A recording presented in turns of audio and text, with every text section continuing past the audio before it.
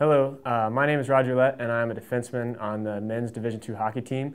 Um, I'm fighting cancer uh, this week for my mom uh, and two other members of my family. Uh, my mom was diagnosed um, two years ago with breast cancer. Um, it's been really hard on my family. Um, having someone so close to you and so much you care for uh, really affects you um, when they start hurting, and it makes you really um, wish that you could take their pain away. But um, it's not how it works, and so it's been a pretty tough trial for my family.